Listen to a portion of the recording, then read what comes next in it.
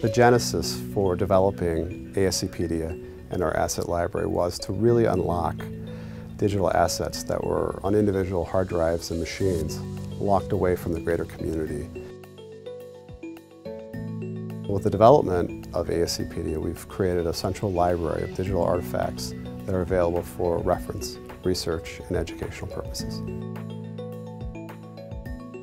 Our members supply test results and guidance critical to the clinical care team. So TSG helped ASCP implement their Alfresco system to store and manage these this large amounts of high high resolution digital images that pathologists use and train on every day. ASCP has been a great long-term client of both TSG and Alfresco. They really do some creative things with digital images that we just don't see from other clients. So we're really excited to be working with them, not just on their day-to-day -day activities, but some of the stuff we can do as, as we look forward to the future.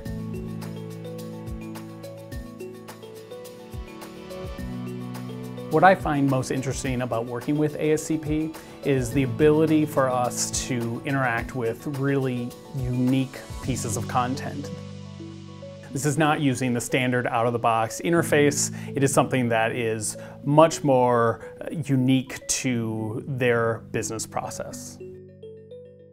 We're really excited about what we've done for this first little proof of concept with ASCP on machine learning and have found some obvious advantages of leveraging it for the day-to-day -day classification of digital images that are often very large and very difficult to analyze. For instance, it's either a virtual slide, or it's a chart, or a graph, or an x-ray. Going forward, you'll see ASCpedia used in more online education as it relates to digital pathology. As the FDA continues to approve new digital pathology vendors, you'll see a change in the laboratories from traditional glass to digital slides.